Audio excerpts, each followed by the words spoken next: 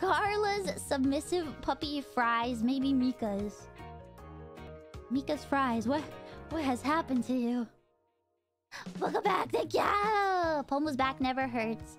L plus ratio plus no tibbies plus blonde hot.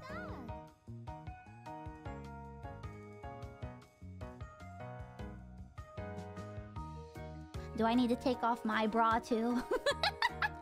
Do I need to take off my bra too like Scarle did and lay it here for you all to see? Well, joke's on you. Because I'm not even wearing a bra right now. so you can't even see it! Because I'm not even wearing one!